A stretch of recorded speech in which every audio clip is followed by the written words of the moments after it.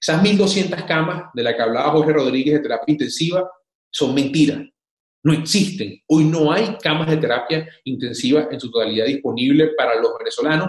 aquí está la prueba, aquí está la evidencia. Jorge Rodríguez hablaba de más de 600 camas en los CDI que no existen. E insisto, sus mentiras, ese juego de mentira politiquero, pone en riesgo la salud y la vida de los venezolanos. Un venezolano que ya hoy le da miedo decir yo tengo COVID y soy reiterativo en esto porque un venezolano con miedo es un venezolano que no va al médico, un venezolano que no anuncia la enfermedad, es un venezolano que probablemente aumente su tasa de contagio personal porque sabe que decir que tiene COVID es mucho peor que no decirlo o que afrontar en su casa el tratamiento.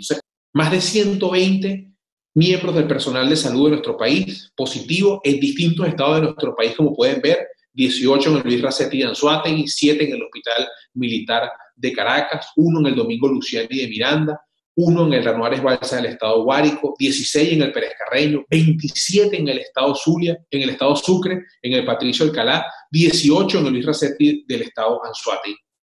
Un personal de salud que hoy no tiene mascarillas, no tiene guantes, está en nuestros hospitales con la angustia de pensar cómo salvar una vida, pero con la misma angustia de no enfermarse, no dejar cómo llegar a su casa, cómo volver a su casa porque no tiene cómo lavarse las manos, en un país donde el 68% de nuestros hospitales no tienen agua.